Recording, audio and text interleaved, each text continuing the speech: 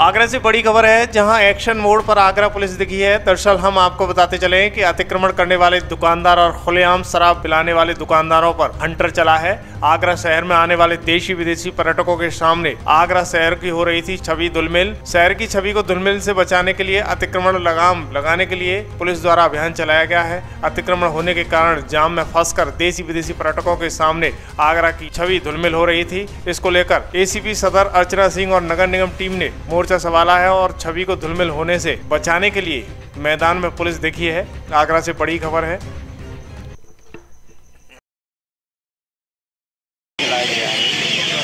Agra commissionerate police लगातार अतिक्रमण, अवैध अतिक्रमण के खिलाफ अभियान चला रही है। उसी के क्रम में आज नगर निगम की टीम और थाना हदर की टीम ने आज ये कैंट स्टेशन के आसपास अतिक्रमण जिन लोगों ने कर रखा है अभियान चलाया है और सभी को हिदायत कर दी गई है कि जितनी दुकान है, उतने में ही सामान रखें, बाहर ना बढ़ाएँ और जो अवैध ठेल वगैरह लगा रखी थी, उनको हटवाया गया है और हम कोशिश कर रहे हैं कि जो कैंट स्टेशन है, वहाँ पे जो समस्या आती है, ट्रैफ़िक जाम की, उसको निजात दिलाने में हम लोग अपना प्रयास कर रहे हैं। अभियान चलता है, लेकिन कुछ समय बाद फिर हाँ ये रेगुलर ड्राइव चलानी पड़ती है। कई बार हम लोग चला चुके हैं लेकिन फिर ये बार बार लगा लेते हैं। तो हम लोग ऐसे लोगों को चिन्हित भी कर रहे हैं और ये खिलाफ वैधानिक कार्रवाई अब अमल में लाएँगे। कहीं ना कहीं माना जाए कि ओपन वार भी चलते हैं क्षेत्र में बिल्कुल सही बात है ऐसे ठेले लगा लेते हैं तो वहाँ पे जमावड़ा लोगों का हो जाता है ऐसे शराधी तत्वों का।